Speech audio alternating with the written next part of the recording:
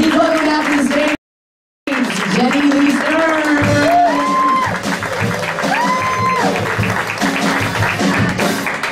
Hey guys, thanks for having me back. I'm just a small town girl uh, living all over the and um, I made it here to New York City to the Broadway. Oh, yes. Um, yes, and as Lauren said, I did uh, Jersey Boys, where I played a um, a drunk, oversexed, loudmouth Italian girl, Naturally. and I did Rocky, where I played a drunk, loudmouth, oversexed Italian girl. And I just want to tell you guys here in this intimate setting, I'm an actress. You know, that's not really me. I'm a drunk, oversexed, loudmouth Jewish girl. You know, and also I'm a good person with a good heart, and um, I'd like to show you some of that.